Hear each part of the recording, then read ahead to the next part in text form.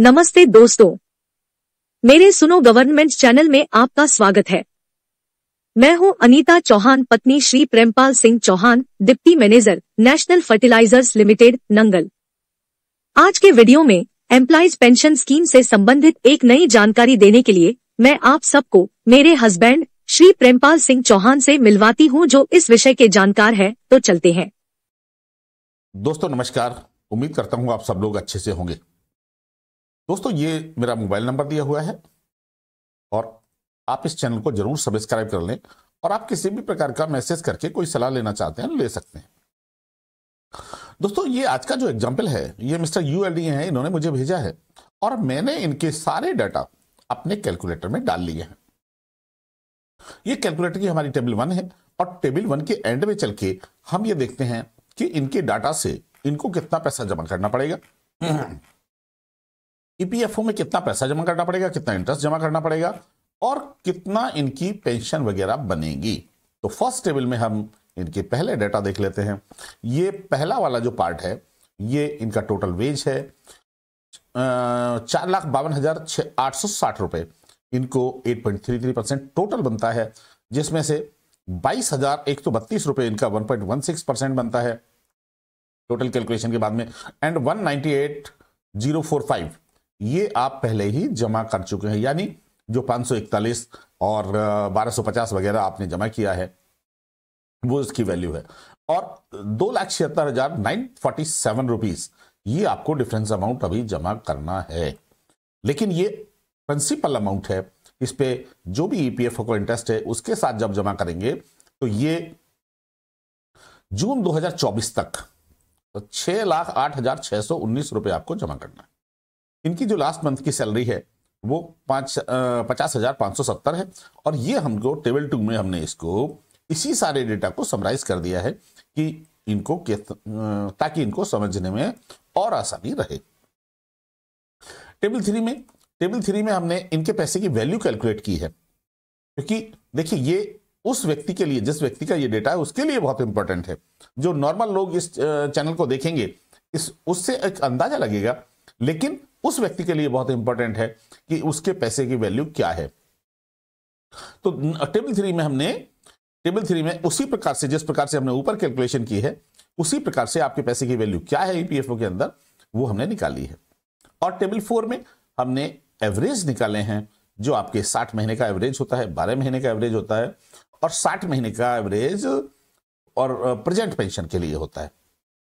Present pension मानी जो ceiling pension जिसको बोलते हैं, यानी जो आज पेंशन हमें मिल रही है। तो इनका जो साठ महीने का एवरेज आता है, वो चवालीस हज़ार एक सौ बहत्तर रुपये आता है और जो बारह महीने का एवरेज आ रहा है, वो उनतीस हज़ार आठ सौ छत्तीस रुपये आता है और पंद्रह हज़ार इनका एवरेज आता है प्रेजेंट पेंशन में जो इनका लिया गया है।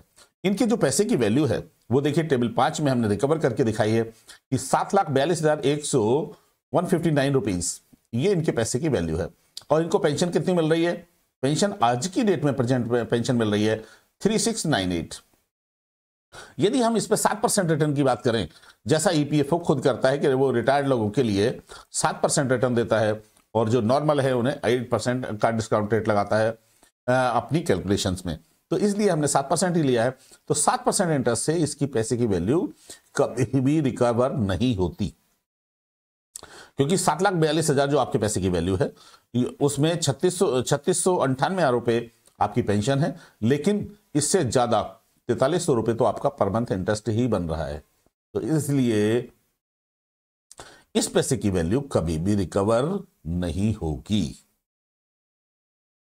देखिए, जैसा मैंने ऊपर बताया, इनके पैसे की वैल्यू है सात लाख बयालीस हज़ार वन फिफ्टी नाइन रुपीज़ और इसको हमने तेईस साल तक भी मंथली कैलकुलेट करके देखा है, यानी वैल्यू आपकी बढ़ती ही चली जाती है, ये कभी भी रिकवर नहीं होगी।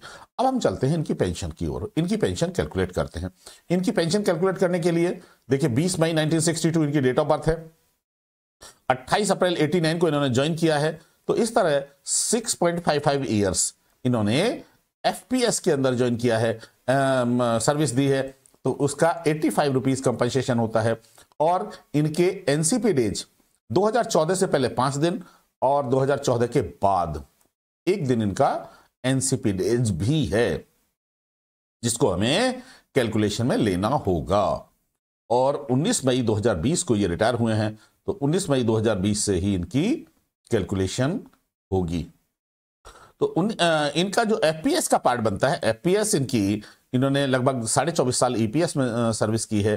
तो इनका जो 25 साल से नीचे के लिए कम लेस देन 25 साल के लिए टेबल बी के अनुसार जो कंपनसेशन बनता है वो बनता है 6.589 और यदि हम इसको कंपनसेशन को इस फैक्टर से मल्टीप्लाई कर दें मतलब फैक्टर बनता है ये टेबल के अनुसार और फैक्टर को 85 से जब हम मल्टीप्लाई करेंगे तो पाँच रुपए इनकी पेंशन बनती है फैमिली पेंशन स्कीम की। अब हम इनकी पहले प्रेजेंट पेंशन देखेंगे। देखिए, मैं कई बार कहता हूँ कि एवरेज निकालना बहुत ज़रूरी है। एवरेज से ही पेंशन सही कैलकुलेट होती है। देखिए, हमारा एवरेज आ रहा है पंद्रह हज़ार। लेकिन इन्होंने जो एवरेज लिया एज पर पीपीओ इनके पीपीओ के अनुसार में, चौदह हज़ार आठ सौ तीन इन्होंने लिया है। जबकि इन्होंने, जबकि इनके छह एनसीपी डेज़ हैं। तो और कोई, इनका और कोई रीजन नहीं है। छह एनसीपी डेज़ को यदि घटा भी दें हम तब भी इनका पंद्रह हज़ार बनना चाहिए था। लेकिन इन्होंने चौदह हज़ार आठ सौ तीन कैसे बनाया ये मेरी समझ से परे है। दिन का दिन सिक्स एट फाइव नाइन आते हैं पाँच दिन घटाने के बाद में दो हज़ार चौदह से पहले जबकि इन्होंने six eight five one days लिए हैं। चलो इनमें पाँच ही दिन का अंतर होता है तो एक दो रुपए का पेंशन पे फ़र्क पड़ता है इससे। आ, कोई बात नहीं है। दो हज़ार छियासी दिन 2014 के बाद इन्होंने सर्विस की है। हमारे भी दो हज़ार छियासी दिन आते हैं इनके भी दो हज़ार छियासी दिन ही आते हैं। इस तरह जब हम इनकी पेंशन कैलकुलेट करते हैं, प्रेजेंट पेंशन तो मेरे हिसाब से वो सैंतीस सौ पंद्रह रुपए पेंशन बननी चाहिए। प्रेजेंट फॉर्मूले के हिसाब से, लेकिन इनको मिल रही है छत्तीस सौ अंठानवे रुपए, यानी लगभग सत्रह रुपए कम पेंशन मिल रही है। और वो सत्रह रुपए जो कम पेंशन मिल रही है, वो इसी कारण से है कि इन्होंने एवरेज चौदह हज़ार आठ सौ तीन रुपए लिया हुआ है। तो मेरी, मिस्टर यूएलडी ये यदि आप देख रहे हैं तो आपको सलाह रहेगी कि आप एक बार ये ज़रूर चेक करा लें कि आपका एवरेज इन्होंने कम क्यों लिया है? अभी ना कराएँ, जब आपका ये यदि नए पेंशन लागू होगी तो उसमें हो सकता है ये ठीक कर दें, क्योंकि उसमें एवरेज एडजस्ट उसमें जो अमाउंट आपको मिला है वो एडजस्ट होना ही है। तो इसलिए अभी आप वेट कर लीजिए, लेकिन फिर इसको बहुत क्लियर ज़रूर कीजिएगा।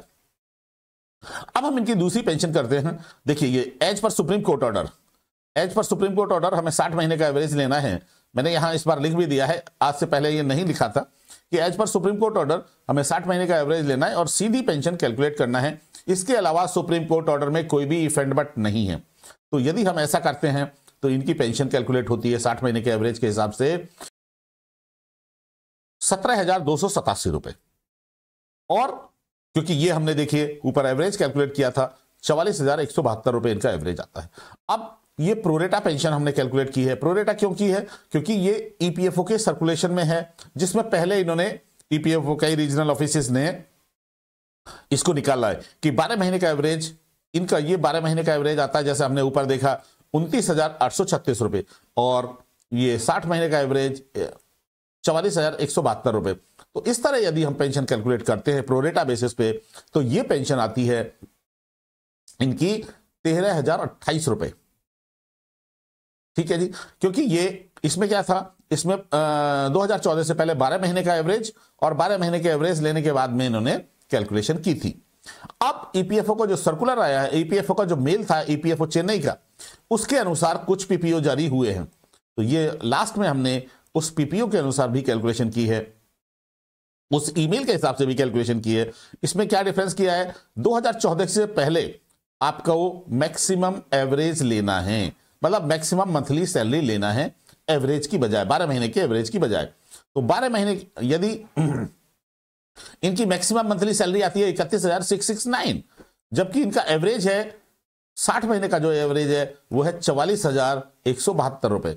तो यानी इन दोनों में से जो कम होगा, वो पहले 2014 की पहले कैलकुलेशन के लिए इकतीस हज़ार सिक्स सिक्स नाइन लेना है। और दूसरी कैलकुलेशन के लिए 2014 के बाद कैलकुलेशन के लिए 60 महीने का एवरेज लेना है।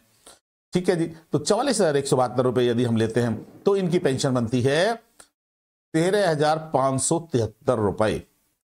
यानी यहाँ तेरह हज़ार अट्ठाईस बनती थी प्रोरेटा में तो प्रोरेटा की अपेक्षा इस सर्कुलर से पाँच सौ पैंतालीस रुपए बढ़ जाएगी पेंशन लेकिन मैं आपको बताता चलूँ कि सुप्रीम कोर्ट के किसी भी आदेश में, किसी भी पॉलिसी में पॉलिसी पॉलिसी जो 95 में जारी हुई थी उसमें ये मैक्सिमम मंथली सैलरी लेने का कंसेप्ट कुछ नहीं है और कहीं भी नहीं है और ये चैलेंजेबल है और चैलेंज किया भी है लोगों ने और हम भी आगे इसे चैलेंज करेंगे क्योंकि सुप्रीम कोर्ट के डिसीज़न के हिसाब से भी पॉलिसी में ही कहीं नहीं है ये। तो आप इस तरह कैलकुलेट नहीं कर सकते।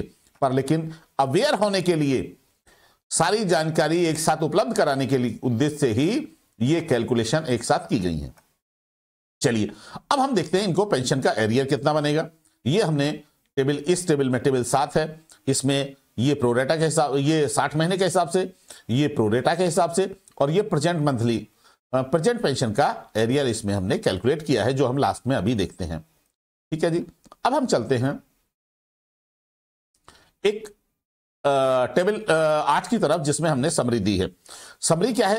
कि छह लाख आठ हज़ार छह सौ उन्नीस रुपए आपको ईपीएफ में जब आपका डिमांड लेटर आएगा, यदि डिमांड लेटर 2024 तक आपको जमा करना है तो छह लाख आठ हज़ार छह सौ उन्नीस रुपए आना चाहिए। और सात लाख बयालीस हज़ार वन फिफ्टी नाइन रुपीज़ आपके पैसे की ऑलरेडी वैल्यू है ईपीएफ में। तो इस तरह तेरह लाख पचास हज़ार सात सौ अठहत्तर रुपए आपके ईपीएफ में जमा होंगे। कब तक जमा होंगे? जब तक आप 24 जून तक, यदि डिमांड लेटर आपको मिल जाता है और आप उसे जमा कर देते हैं। तो और आपको पेंशन का एरियर 24 जून 2000 24 जून जून 24 तक आपको दो दो, ला, दो लाख चौदह हज़ार चार सौ चौरासी रुपए एरियर मिल चुका होगा। प्रेजेंट पेंशन का और सात लाख अठासी हज़ार एक सौ बासठ रुपए आपका यदि हायर पेंशन लागू होती है बैक डेट से एरियर चूँकि आपका 20 में मई 20 में रिटायरमेंट है तो 2024 तक जून 2024 तक आपको सात लाख अठासी हज़ार का एरियर मिल चुका होगा। और यही देखें प्रोरेटा के केस में कितना होगा। प्रोरेटा के केस में आपको जो एरियर मिलेगा वो पाँच लाख इकतालीस हज़ार लगभग मिलेगा। तो इस तरह आपकी जो टोटल पैसे की वैल्यू है, उसमें से आपको साठ महीने के केस में दस लाख दो हज़ार छह सौ चालीस रुपए मिल जाएँगे। जून 2024 तक यानी रिकवरी हो जाएँगे इतना पैसा और सात लाख पचपन हज़ार रुपए प्रोडेटा के केस में रिकवर हो जाएँगे। आपका जो रिमर्निंग पैसा बचा, वो तीन लाख अड़तालीस हज़ार एक सौ बत्तीस रुपए बचता है। और प्रोडेटा के केस में पाँच लाख पंचानवे हज़ार एक सौ चौवन रुपए बनता है। तो यदि हम इसको विदाउट इंटरेस्ट आपकी जो पेंशन है, उससे डिवाइड कर दें तो लगभग 20 महीने में आपकी रिकवरी हो जाती है विदाउट इंटरेस्ट और विद सेवन परसेंट इंटरेस्ट ये लगभग 21 महीने में आपकी रिकवरी हो जाएगी। और यदि प्रोरेटा लागू होता है तो लगभग 45 महीने में ये आपकी रिकवरी हो जाएगी विदाउट इंटरेस्ट और विद इंटरेस्ट ये 53 मंथ्स 53 मंथ्स यानी आप कह सकते हैं लगभग लगभग छह साल ले लीजिए, साढ़े पाँच साल ले लीजिए। अगले साढ़े पाँच साल में आपके ये पैसे की रिकवरी हो जाएगी। और उसके बाद जो आपको पेंशन मिलेगी, वो पेंशन आपके लिए बोनस होगी। या आपका पैसा रिकवर होने के बाद की पेंशन होगी। ये टेबल नाइन में टेबल नाइन में हमने सात परसेंट के साथ में ये कैलकुलेट किया है कि कितने मंथ वाइज ये इनको चेक करने के लिए मिस्टर यूएलडी को चेक करने के लिए एक इजी तरीका हमने लिया है कि इस तरह आप चेक कर सकते हैं कि कितने महीने में आपकी रिकवरी होगी। और इसको हमने ईयरली कंपाउंड किया है। हर अप्रैल में कंपाउंड किया है जिस तरह ईपीएफओ करता है। ना मंथ ईयरली कंपाउंड। तो इस तरह इनकी रिकवरी इतने मंथ में जो मैंने ऊपर बताए हैं, इसमें हो जाएगी। और ये हमने इनका एरियर कैलकुलेट किया है पेंशन का। ये इस पेंशन का एरियर ये प्रोरेटा पेंशन का एरियर और ये इसको जो हमने ऊपर की टेबल में बताया है। तो मेरी आपको मिस्टर यूएलडी आपको ये सलाह रहेगी कि आपको जैसे ही डिमांड लेटर मिलता है आप उसे इमीडिएट जमा कर दीजिए। आपका जो भी आपकी बेसिक में बहुत ज़्यादा अंतर नहीं है इसलिए दोनों ही केस यदि साठ साठ महीने का लागू होता है तो, तो आपके लिए बल्ले बल्ले है ही। यदि प्रोरेटा पे लागू होता है तो आपके लिए बहुत ज़्यादा नुकसान नहीं है। आप इसे इजिली देख सकते हैं और मतलब बेनिफिशियल रहेगा आपके लिए। तो आप इसे इमीडिएट जमा कर दीजिए। आज के लिए इतना ही। बहुत बहुत धन्यवाद। मिलते हैं अगले वीडियो में। आज की यह वीडियो आपको कैसी लगी कमेंट करके ज़रूर बताएँ। इस वीडियो को देखने के लिए धन्यवाद। लाइक और सब्सक्राइब करें। बेल आइकॉन ज़रूर दबाएँ।